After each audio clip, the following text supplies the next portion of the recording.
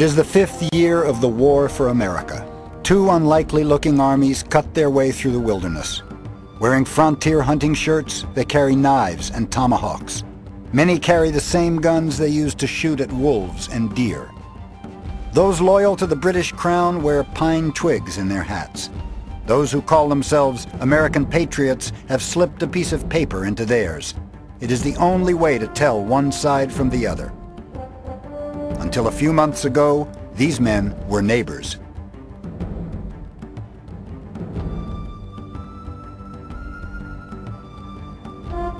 These two rough and ill-equipped militias have no idea they are about to change the course of a war fought far to the north by far more imposing armies. Here, in the backwoods of the Carolinas, on an isolated hilltop known as Kings Mountain, they will turn the tide of the war and end one of the bloodiest years of the American Revolution.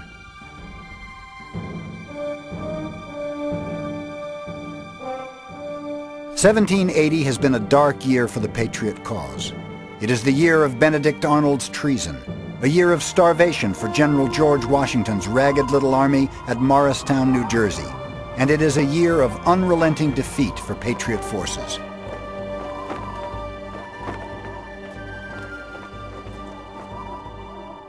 But these British victories have come at a high price. The king's ministers, deep in debt and confronting serious domestic problems, can squander no more men or treasure on this American war. The British commander in North America, Sir Henry Clinton, attempts to ease the demands on his troops. He will shift the war to the American South, where sizable support from civilian loyalists is expected. On May 12th, a keystone in the Southern Theater falls. Charleston, America's fourth largest city with its 5,500-man garrison, surrenders. It is the worst defeat yet suffered by the Americans. British regiments sweep through South Carolina. They establish a chain of posts from Georgetown to Augusta on the Savannah River to Fort 96 on the western frontier. In London, Lord George Germain, Secretary of State for the American Department, expresses the sentiments of his monarch the glorious and important event of the reduction of Charleston and the destruction or capture of the whole rebel land and naval force that defended it gave His Majesty the highest satisfaction.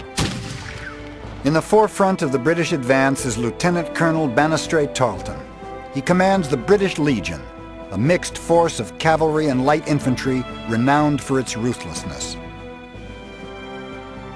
Tarleton is an aristocrat educated at Oxford and trained as a lawyer. The fiery redhead has no sympathy for those who oppose his king. He joins the army at the first uprising. It is Tarleton who is ordered to head off a small contingent of Americans riding from Virginia. Colonel Abraham Buford, an experienced militia officer, realizes he has come too late to aid American troops in Charleston. He turns his 350 Virginia Patriots towards the north, with Tarleton and 250 cavalrymen in close pursuit. They catch up with Buford near the North Carolina border at a small settlement called the Waxhaws.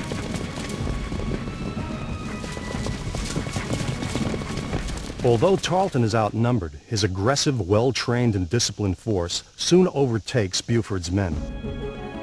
Tarleton boldly demands the surrender of Buford's force, the colonel refuses, but before he can properly form his lines, the British dragoons are upon him. The Americans have no chance.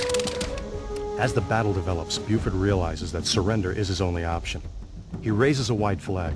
Some of his men, taking off strips of their linen white clothing, attach them to the ends of their bayonets, their ramrods, their rifles, and their muskets, waving them in the air to halt the British.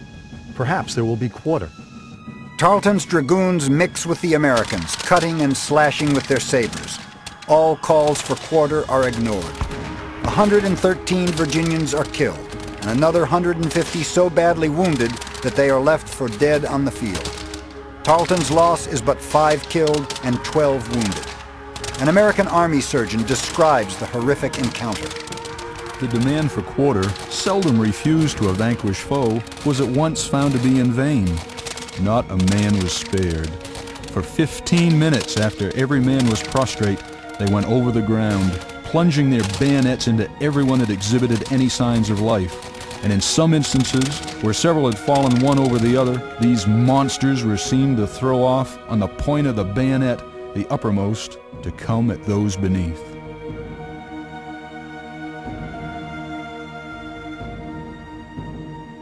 The truth is that the British troops passed through Buford's men, turned around, passed through again, and then on the third time as they passed through the American troops, they pulled off the wounded and dead to stab and bayonet those that were underneath. Every man in Buford's command was either killed or wounded. From this day on, this would be known as Tarleton's Quarter. News of the victory reaches Clinton in Charleston. Now confident that loyalists throughout the Carolinas will rally to their king, he sends his assurances to Lord Germain. With great pleasure I further report to your lordship that the inhabitants from every quarter repair to declare their allegiance to the king. I may venture to assert that there are few men in South Carolina who are not either our prisoners or in arms with us. But Clinton and the British command have miscalculated. Waxhaws, where Tarleton rode down on the Americans, is a close-knit enclave of Scots-Irish farmers. The deeply religious community is appalled by the slaughter that has taken place outside its doors. They will not soon forget nor forgive the British. The Waxhaws massacre may be a defeat for the Americans, but for the British, it will prove to be a fatal mistake.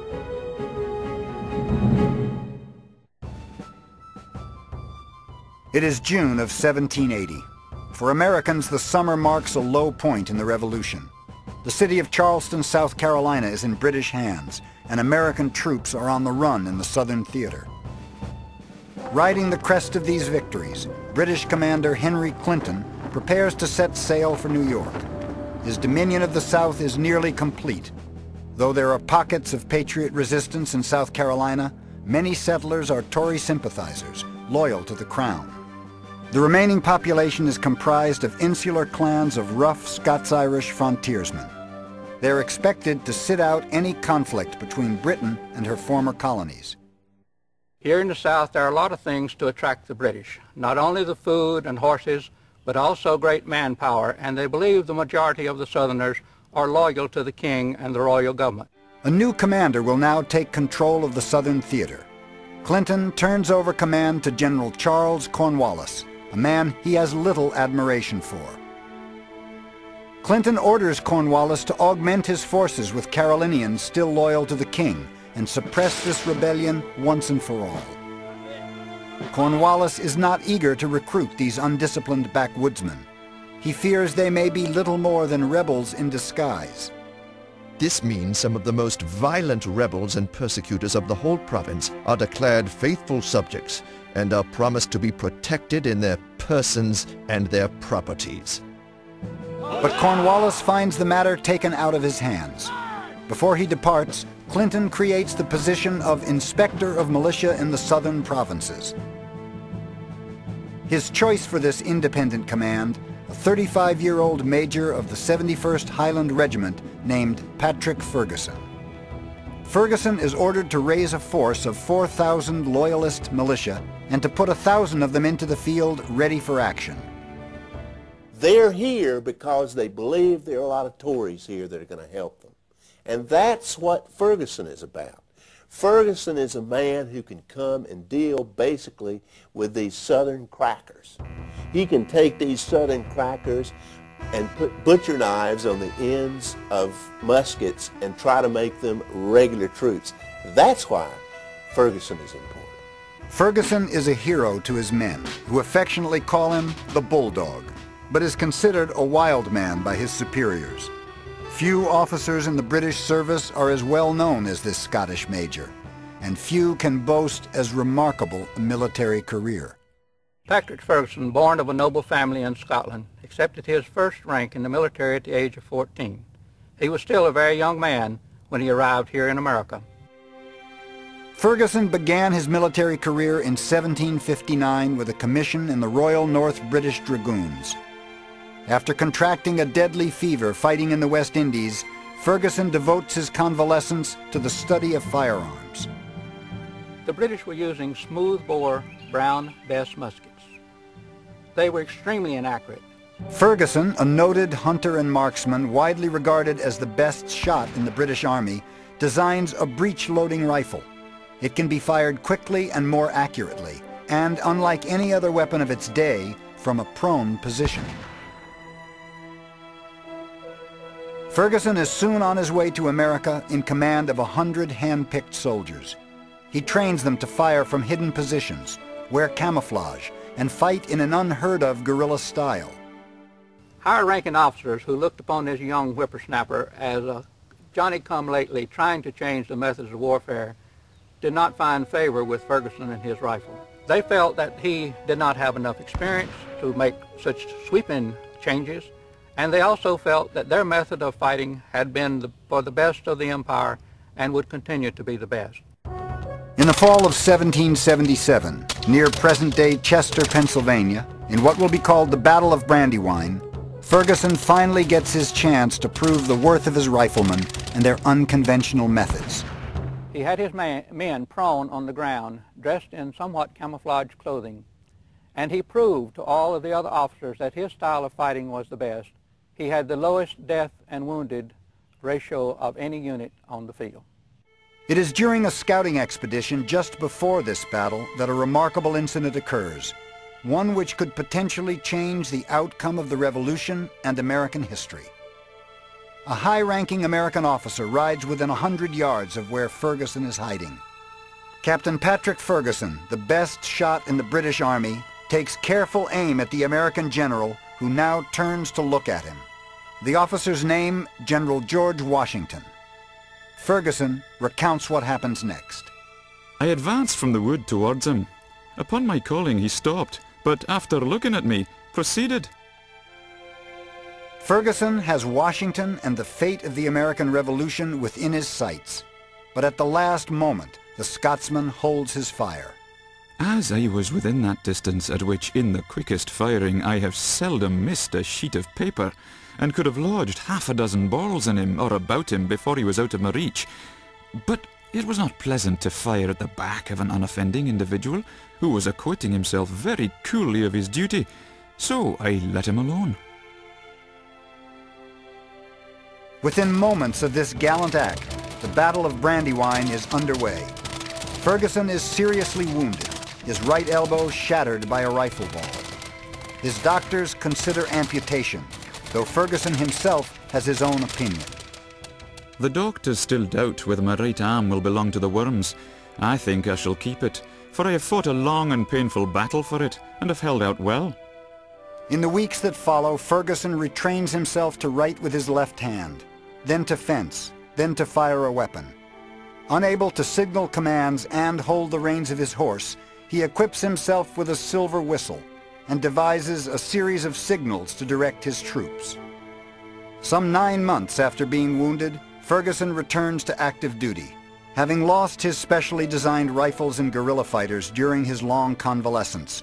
Ferguson still distinguishes himself at the battles of Monmouth and Charleston, drawing the attention of Sir Henry Clinton. In this brave and idiosyncratic leader, Clinton sees a man who can appeal to the Carolina frontiersmen and draw them to the British side. Without consulting his other commanders, Clinton handpicks Ferguson to recruit and command all the militia in the Southern Theater. It is a bold and dangerous move. Ferguson will win many frontiersmen to the British cause, but as Clinton will learn too late, he will prove equally adept at making enemies.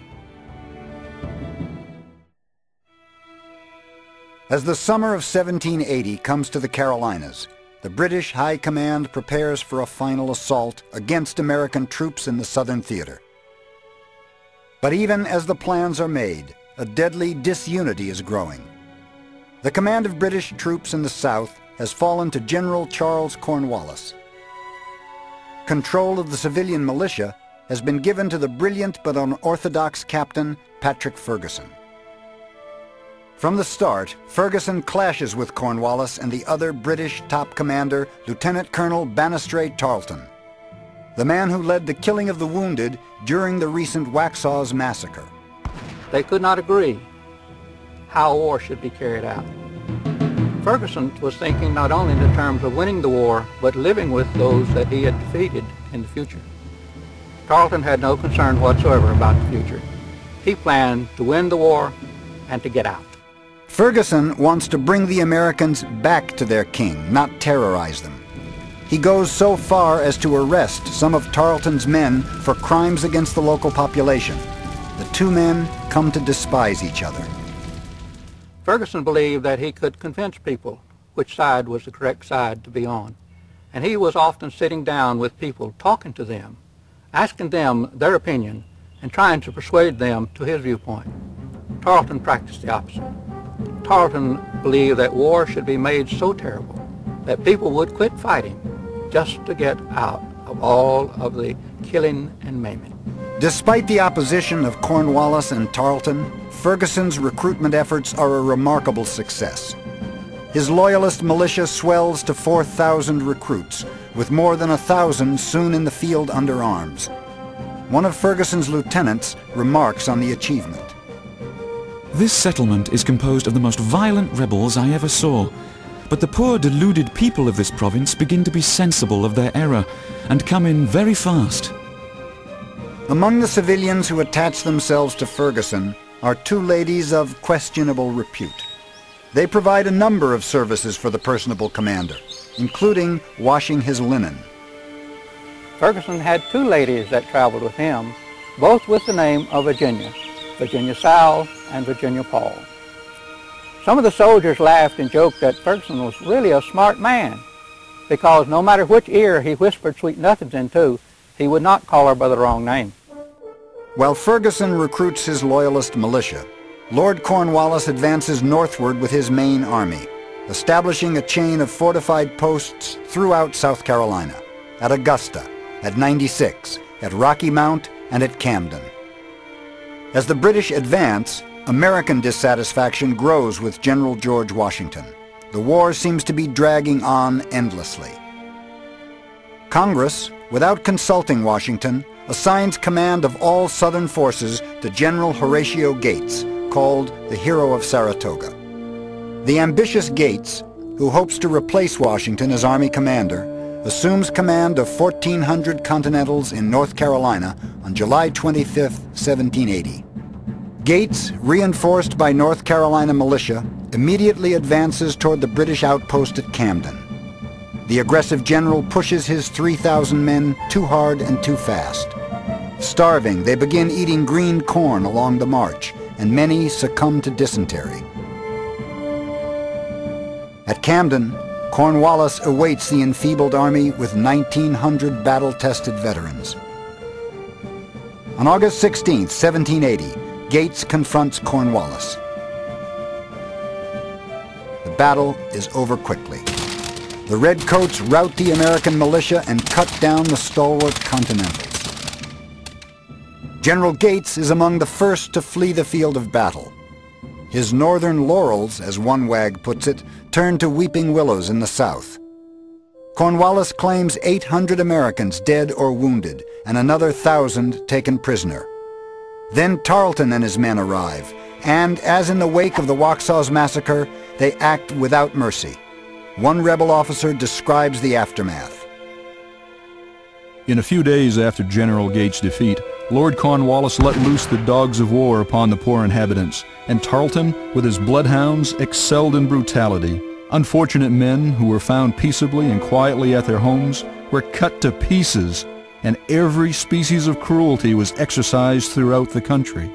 The victory is complete. The road to North Carolina and beyond is wide open. But Lord Cornwallis has also suffered losses. 20% of his redcoats have fallen at Camden, and even more are sick with fever.